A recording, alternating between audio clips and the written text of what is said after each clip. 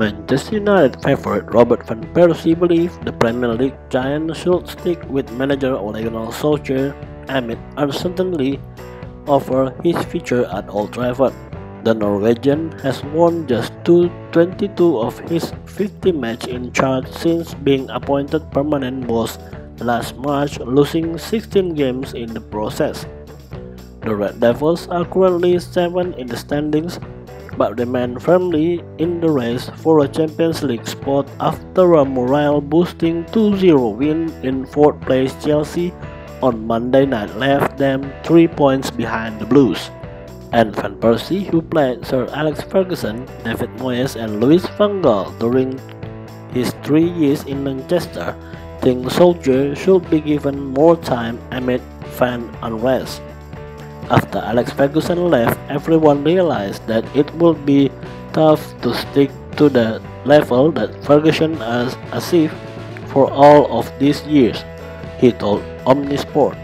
I think everyone could see that. Now, David Moyes has been there, Louis van Gaal, Jose Mourinho and Solskjaer. Ferguson was given time to take the player to a certain level, the Dutchman told Omnisport. It is not ideal for the club replace the manager every year. If you go for a soldier, give him time. The club must find stability.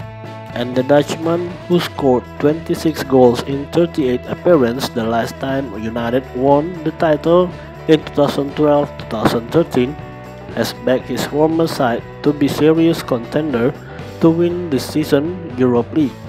Speaking ahead of the first leg of United's round of 32 first leg clash against Club Brugge, the former striker added, Arsenal and Manchester are certainly the favorites for the overall victory.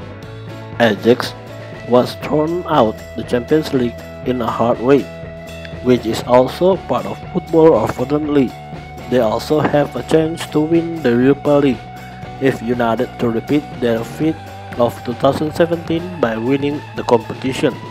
That would given them another avenue in terms of Champions League qualification for next term. Should they finish outside the top 4,